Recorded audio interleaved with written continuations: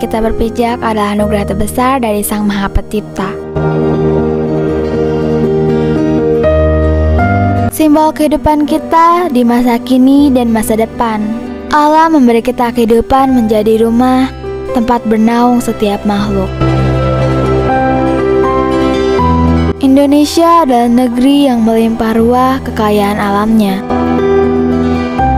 Namun, sayang sekali, maraknya eksploitasi lingkungan selama ini telah melukai alam tempat tinggal kita. Meninggalkan bencana yang datang silih berganti. Banjir, tanah longsor, kebakaran hutan, menuai duka dalam kehidupan kita.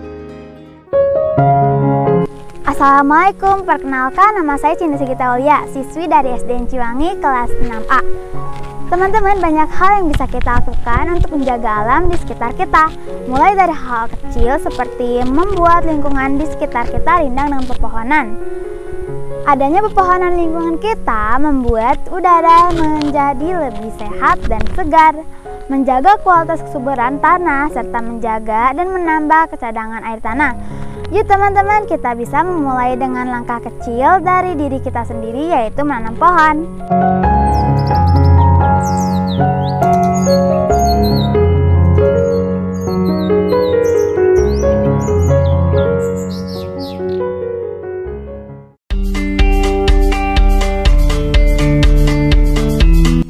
Untuk menanam pohon, kita bisa menggunakan peralatan seadanya yang ada di rumah.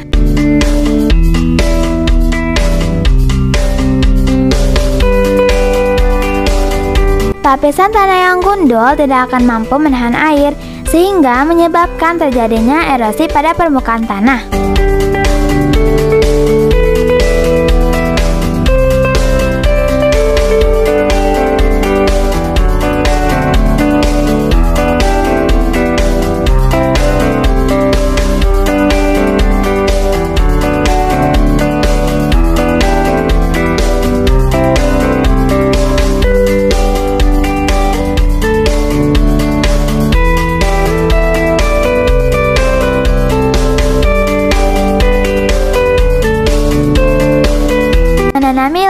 gundul dengan pepohonan adalah salah satu cara dan juga merupakan langkah kecil dari kita untuk menyelamatkan alam dari kerusakan.